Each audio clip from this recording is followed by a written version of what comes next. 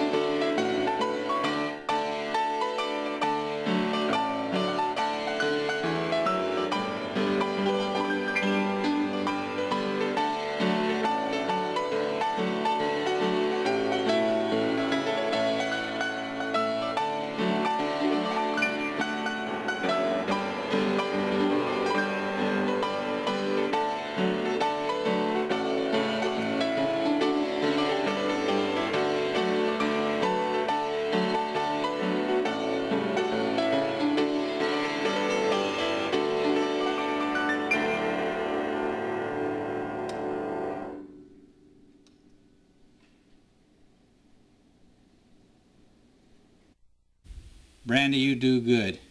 Brandie wanted me and her to do a duet while I was there, and with that didn't work out. We didn't have enough time to practice. Sorry about that, Brandie. Hopefully next year when I come back or whenever we come back, we can get together and spend some more time together, okay?